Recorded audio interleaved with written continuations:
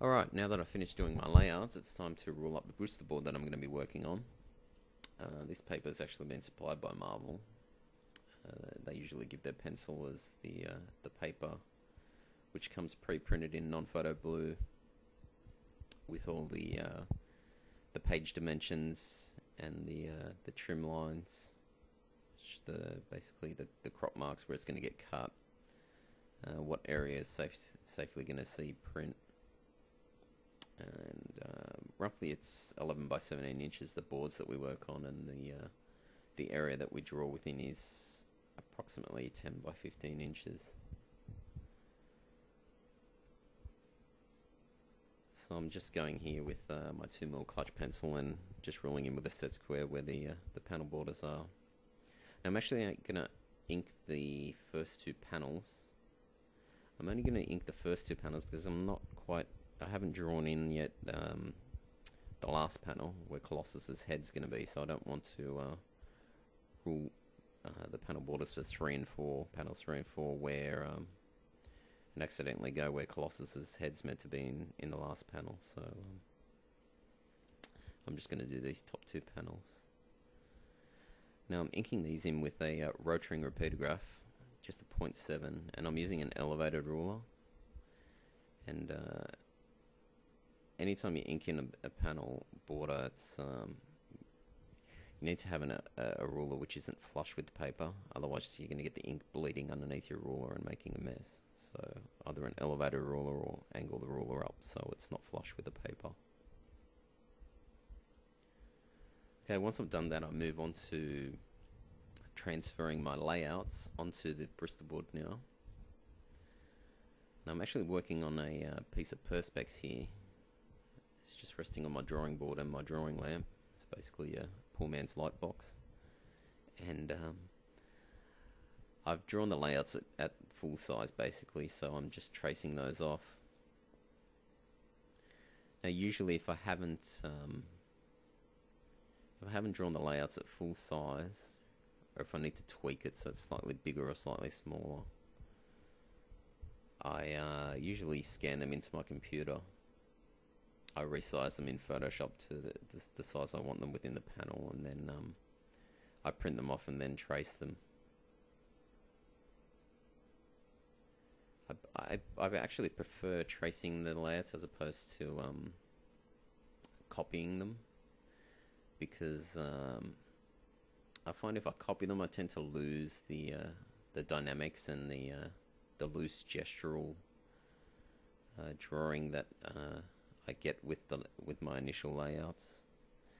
Because basically using a, a different um, skill set I guess when you start the more you start concentrating on uh, the anatomy and the perspective and all those sorts of things which are, are bound by sort of rigid set rules things start to um, stiffen up.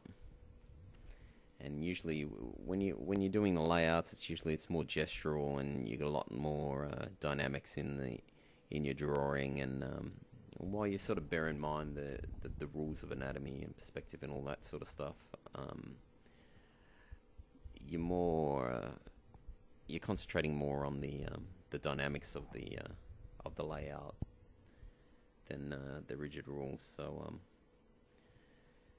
I find when I'm transferring them, I tend to stiffen up the figures, and um, or I might just uh, it might just be something you do slightly wrong, and then you can't quite capture the initial uh, thing you captured in your original layout. So this is why I prefer to trace them off.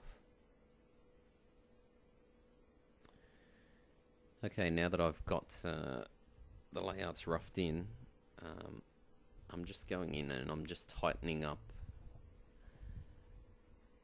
uh, my layouts now. I'm still keeping it very loose because I, I know I'm going to be inking this myself, so um, I want to leave a bit of the drawing to the inking stage. Uh, there's nothing worse than drawing the same thing over and over again. So uh, I like to leave it a little loose, so I've got a little, little room to draw with the ink rather than just uh, tracing off some lines that I've already drawn. Course, if I um, if I had another person inking me, I'd be going a lot tighter with the pencils at this at this stage. So um,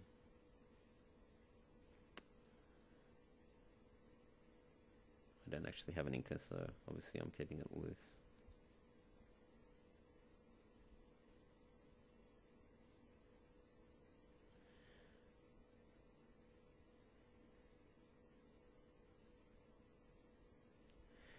Probably see on the on the left there, I'm actually uh, referencing uh, a reprint of Giant Size X Men number one, which this panel was. Um, the panel's characters uh, were from. This scene was from. So um, I'm actually I've just got it there because I'm referencing the costumes basically. Just want to make sure I've got everything uh, correct with the costumes.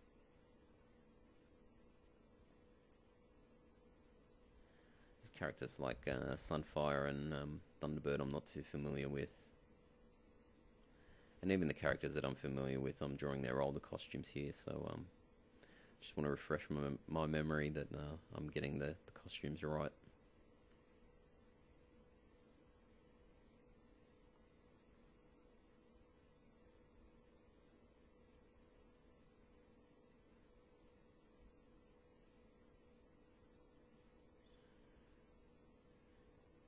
Now all this is uh, just pencil with my 2mm clutch pencil.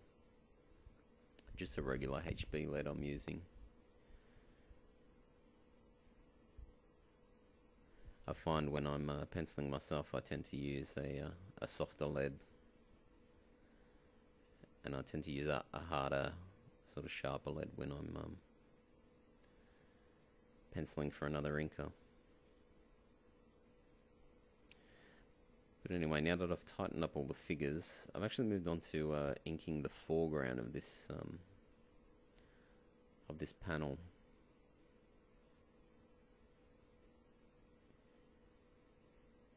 Now you probably noticed I didn't actually uh, tighten up any of the um, any of the foliage and the leaves, the vines, and all that stuff in the foreground from the jungle with the pencil. So I'm just, I'm really, I'm just drawing with the ink here over the rough lines that I'd uh, put in in my layout. And I prefer doing that with this sort of stuff because um, all these uh, leaves and foliage and things and all these things that have lots of different textures, I find it's a lot easier to just um, put the textures in with the with with the crow quill I'm using a Hunt 102 crow quill here with a crow quill or a brush um, at the inking stage rather than um, doing it with a pencil. It's hard to get um, all the different textures and stuff. Plus, it's fun to draw this sort of stuff um, just freehand. I like doing a lot of this stuff sort of freehand. I've drawn quite a few jungles in my uh, comic career, so um, I'm used to drawing all these different textures and basically all I'm doing is um, it's just a matter of creating uh, different textures next to each other. And uh, just varying the size of leaves and things like that. And you just vary the uh, the textures next to each other sort of to add variety and sort of separate elements as well because obviously, if everything's the same texture, it's all sort of going to meld together, and then you're going to lose um, some of the the depth in your drawing.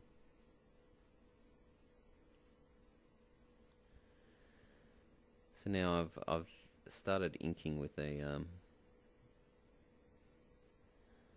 my Winsor Newton Series Seven number two sable brush.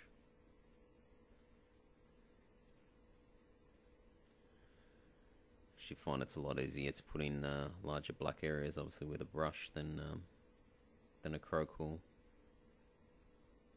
The brush is probably the most uh, versatile tool with the inking. You can get simply because of the variety of lines you can get just from the one one tool. But uh, takes a fair bit more. Um, it's it's harder to use, I guess, uh, if you if you first start off inking. It's harder to use a brush than um, than a nib or a pen. I guess with things like Rapidographs, it's closer to using a pencil. The way you use it, and the Crowquill gives you a bit more flexibility um, with with your point. Obviously, with the Rapidograph, you're going to get a um, a flat line. Uh, you know, a single sort of line width from it. Um, with the Crowquill, you still sort of got that control of the pen, but you've got a bit more flexibility where you can uh, press a bit harder and get a sort of heavier weight in your line.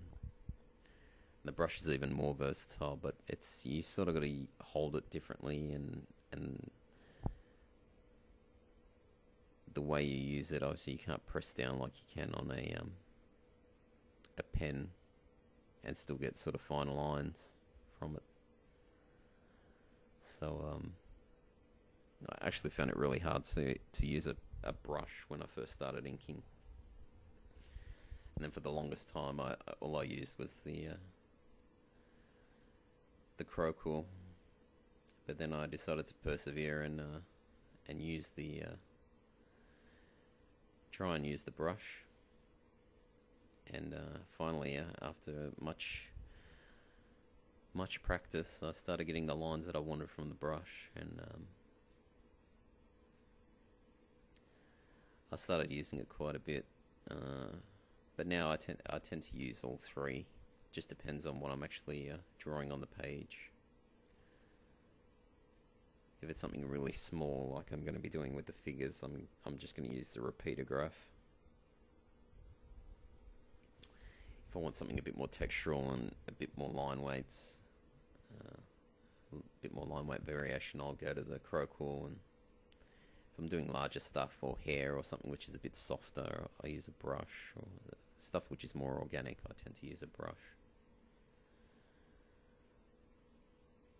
But here in this panel, stuff is small, so I'm, I'm using a Crowquill and the brush sort of for the for the black areas as well.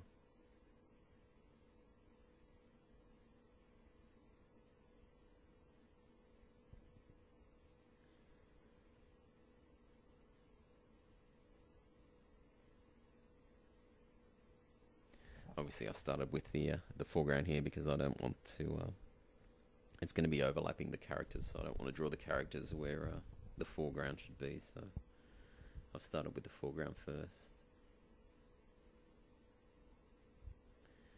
Now just roughing in my um, the tree line. Now I'm not putting as much texture and stuff obviously in the background because um, obviously I've put that much detail in the background. It's going to um, to flatten the image. And I'm going to lose the depth, and obviously when things are far away, you don't see a lot of detail anyway. So. Uh, just hinting at a tree line and some uh, a couple of trees sort of a bit closer in the foreground, but still sort of keeping it very open.